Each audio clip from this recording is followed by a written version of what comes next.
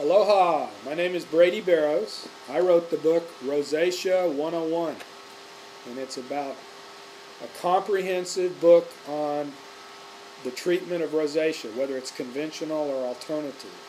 And I wrote a chapter, chapter 3, about what causes rosacea, and I'd like to discuss this with you and uh, just briefly talk about some of the theories why uh, we get rosacea. No one really knows, so these are just simply theories. And uh, the first theory that's probably the most popular that you'll see in most medical literature is that rosacea is a vascular disorder. And what does that mean? It means that there's something wrong with the blood vessels on the face. And what causes that? Well, we don't know, but it's some something causes your vessels to mess up.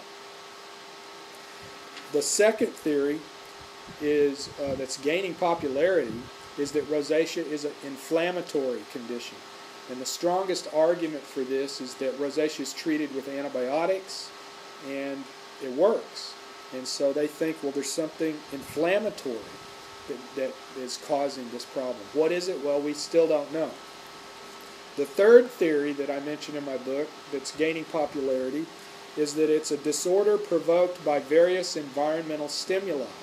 And there's a long list of things in the environment that trigger the rosacea, and it may be the cause. Number one and foremost is sun damage, photo damage to the skin, because most rosaceans are sun sensitive. And that could be, but they haven't proven it. There's other things like exposure to cold, exposure to heat, irritants, whether they're topical or whether they're uh, oral, uh, something is uh, in the environment is triggering the rosacea. Stress has been proposed as one of the, the things that brings on rosacea. And then, of course, last but not least, are the microorganisms. And there's, there are many bacteria, fungus, demodex mites. The, thir- the fourth theory that's been proposed is that rosacea is a genetic disorder. You know, because it looks like that particularly white, fair-skinned people get rosacea. But of course, this has never been proven because you can get rosacea. Uh, it doesn't matter what race you are, you can get rosacea. But the uh, this nature versus nurture debate will continue for a long time about whether uh, really uh, rosacea is genetic or not. But it could be. That could be the reason.